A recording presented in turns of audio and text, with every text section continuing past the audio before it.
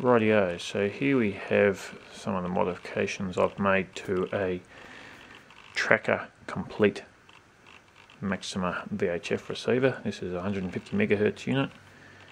And we're making these modifications such that we can fly these this device under a semi-autonomous aircraft and radio track animals from the sky so I'll take you through some of the uh, the bits. So what we've got here is a servo to drive the VHF gain and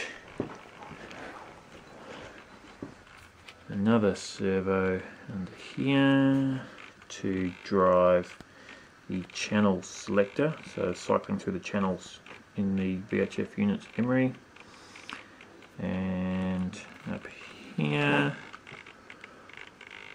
We have a small video camera. For the radio control battery powering the VHF receiver modification servo units. We have a video.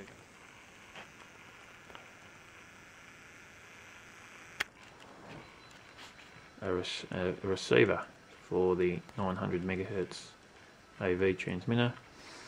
Turn the VHF receiver uh, transmitter on.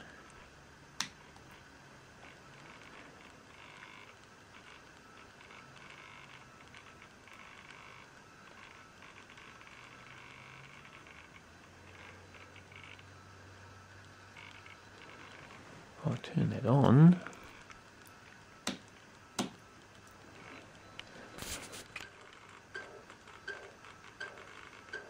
You can see both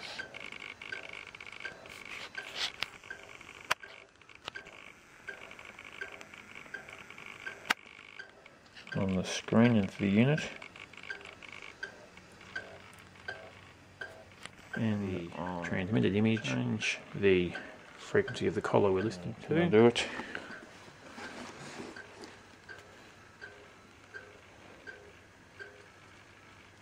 Twisting this one.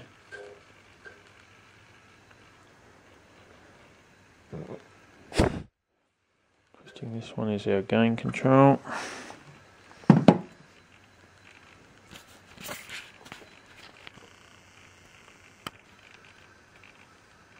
Sorry, this one.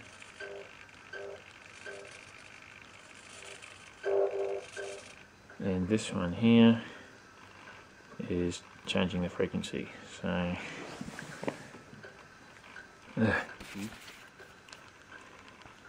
so just cycle that some more. I've only got four frequencies in here. Two, three.